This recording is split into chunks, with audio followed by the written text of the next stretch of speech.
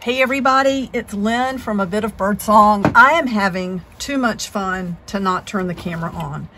And I wanted to show you what I came up with. I've only done two of these, but I, have been working in some Christmas journals and I wanted a way to bring some nature into it. I don't, I don't, I have never uh, gotten into the eco dyeing. I love Rosemary Morris at the Rusty Peacock. She is like, to me, she's like the queen of eco dyeing. And I, I really want to learn how to do it someday, but I was thinking, what can I do quickly to get some prints of some leaves? So I started playing around with some leaves. I went out to the backyard and picked these up. And the first thing I did, the very first print I got, I simply took some of the like raw sienna or whatever it is. What is it? Burnt umber. I've got burnt umber over here. Uh, the raw sienna's down here. So I just painted the leaf and it painted all over the top of it. It went on just a really nice coat and I laid the leaf down on some paper, put some fabric over it very carefully and then ironed it. And it came out looking like this, which is really pretty, but it's not that dark. That said, I brought the leaf back and I thought, okay, I'm gonna paint it again and maybe it will have you know, more color. I'm going to add more this time, but to my surprise, the color just beat it up. I don't know if I did something to the leaf with the heat. Maybe there was something in the fabric that got on it, but the, the watercolor was just beating up everywhere. So I said, hmm, what can I do? Well, I got out these, I guess it's Brea Reese, these watercolor creams. They're really rich. It says highly pigmented, water-soluble, non-toxic. Uh, so I colored the leaf with the red, the red crayon. Let's go ahead and get out a couple of other colors because I want to make a few more of these. That's good for now. I don't want to go crazy because I have to go to work in a little bit. I colored the leaf. Let's just go ahead and make one. Look how it turned out. Let's see if I can recreate this. So and I've got fabric close by. What did I do with it? Ay, ay, ay. Okay, I have some pieces ready. Let's go ahead and move. Let's put, we'll put this underneath and turn it that way. Oh, that's where the water beat it up.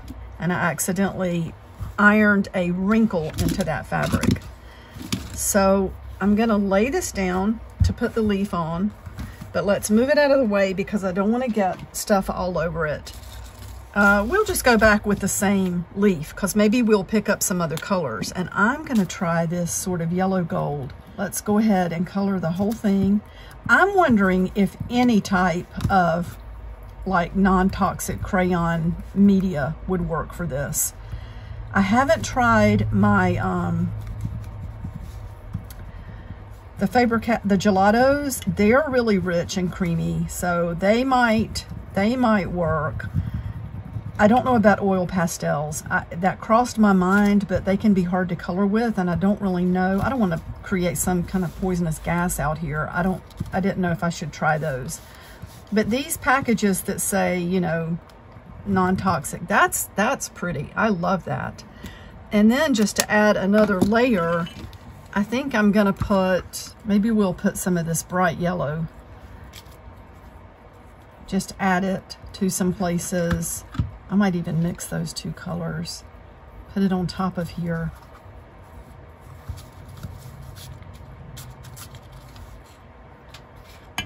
And then let's come back. Actually, you know what? I feel like I need more color. I don't know. I think I had more on top of the last one. And, and water. That might help it soak in if that makes sense. It might just carry it right into the fabric a little better. And I'll be sure and get that stem. Now, let's lay our little thing down, our little base fabric, and put this right here. This is kind of the tricky part. And let's lay that down. And then I'm gonna iron it. And you do have to run the iron around, but you know, you don't want to pull it so hard that you pull the fabric away and mess up your your stain that you're getting. And I see I'm putting a wrinkle down here, so I'm gonna try not to do that. These are so pretty. Can you imagine a banner of these brightly colored leaves, like in a classroom or even in your house, like hanging on the mantle? I can't wait to see what this one looks like. Oh, it's so pretty and they're sparkly because these, the, the Brea Reese, the watercolor creams, these are metallic colors. And I feel like that watercolor over the top, that helps it to soak in and it gives it more color. This could have even more color, in my opinion. So now we have two. Let me try a different leaf. Oh, even this is pretty. I don't want to get rid of that. Maybe I'll laminate that. Let's move this out of the way and let's get another. I thought I took out some green. Maybe I, I meant to take out a green because I do want to, since these are going in my Christmas journal, I do want to try a green. This is a really, really bright green. Oh, that's okay. So let's go ahead and color this whole thing. This leaf has not been ironed yet is straight out of the yard. So this will be the first run. This will be the first print run with this leaf. I love using nature in journals and art.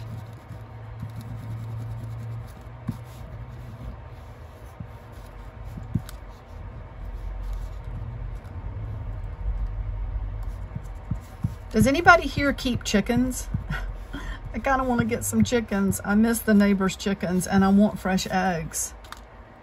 Um, I know it would be a lot of work. My mom has them. I've never personally had them, so it would definitely be a learning curve for me. And to go a step further, does anybody have their chickens for eggs and for meat? I don't, I've never had to do that, like slaughter animals, but just curious, just curious.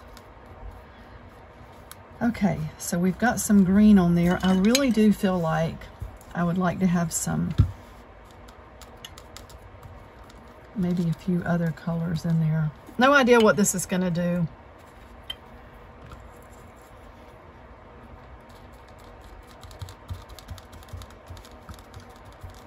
I guess the green's kind of going to end up on top because it is closest to the leaf. I hope I didn't overdo it there. So let's get our little bottom layer and put this right here. And then another piece of fabric. And let's start ironing.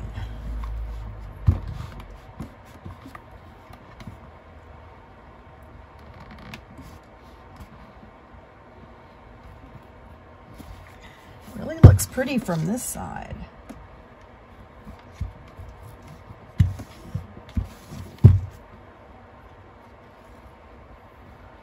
Oh, that's pretty.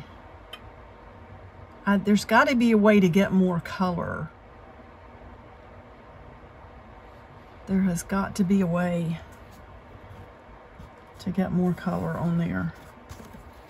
So, you know what? I'm going to stop for now. I was just so excited about this. I had to turn the camera on and show you what happened when I decided to experiment with this. These are really pretty.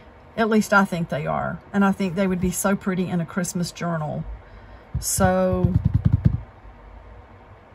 that's it. I just wanted to show you this. I'm going to keep working with this because I think there's got to be a way to make it better and better. I hope everybody's having a great day. I'll be back really soon. Bye for now.